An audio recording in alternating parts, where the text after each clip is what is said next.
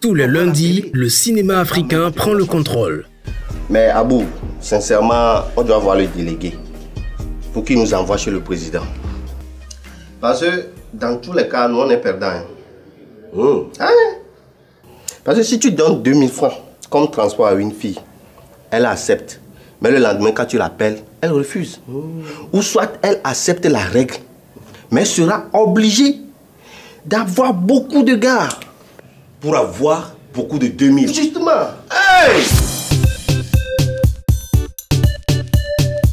Lundi en Afrique, c'est 100% cinéma africain et c'est sur Ivoire Channel.